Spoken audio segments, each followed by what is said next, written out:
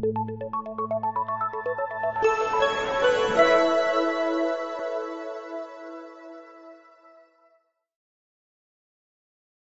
dos meses de la explosión registrada en la planta Clorados 3, la organización ambientalista Greenpeace presentó los resultados del análisis de las muestras de agua y suelo recolectadas durante los días 23 y 24 de abril, con el propósito de buscar sustancias químicas peligrosas. ¿Cómo tomamos estas muestras? Bueno, eh, del agua nosotros las tomamos en botellas de color ámbar, de tapa rosca, tomamos un un control en la, parte de arriba del río donde no tiene una influencia la planta. Tomamos dos muestras del río Coatzacoalcos, una muestra del arroyo que, justamente descarga sobre este río y una muestra directa de la pipa de agua que se obtiene de la planta Pajaritos.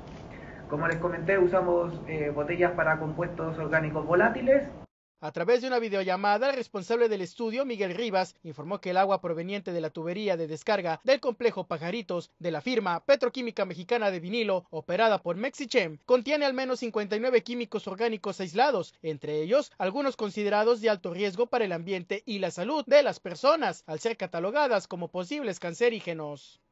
Dentro de la cual voy a recalcar la más importante.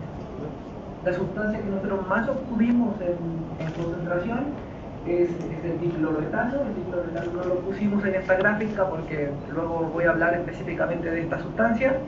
Y, también obtuvimos eh, tarnos clorados, eh, clorados, metanos clorados y benceno. Se tomaron 10 muestras, arrojando resultados alarmantes ante la presencia de tóxicos como etanos clorados y metanos, así como bencenos clorados. De las sustancias, el químico más predominante fue el dicloruro de etileno, catalogada como posible sustancia cancerígena por la Agencia Internacional para la Investigación del Cáncer.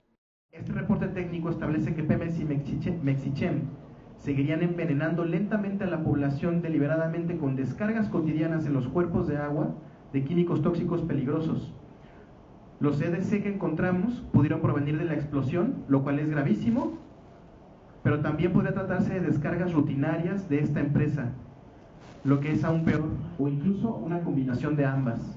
Este informe puede consultarse en la página oficial de Greenpeace. La organización queda pendiente de la respuesta de las autoridades, a quienes nuevamente les hace un llamado a remediar esta situación. En la cámara, Héctor Jauregui. Con información de Enrique Burgos, más noticias. Thank you.